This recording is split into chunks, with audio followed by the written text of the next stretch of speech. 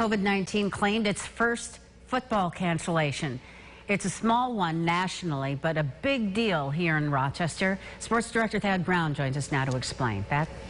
Maureen, the NFL is instructing all teams to hold training camp at their home facility. That means the Bills will not be coming to St. John Fisher this summer.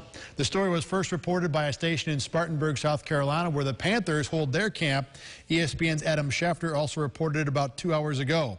A source close to camp at Fisher told me that as of this morning, the plan was still to hold camp at Fisher, but the league may have surprised teams a bit with the directive today. Now, this is the first COVID-19 caused change to the NFL's year-long schedule. Could it change the Bills' long-term future St. John Fisher? We'll examine that coming up in sports.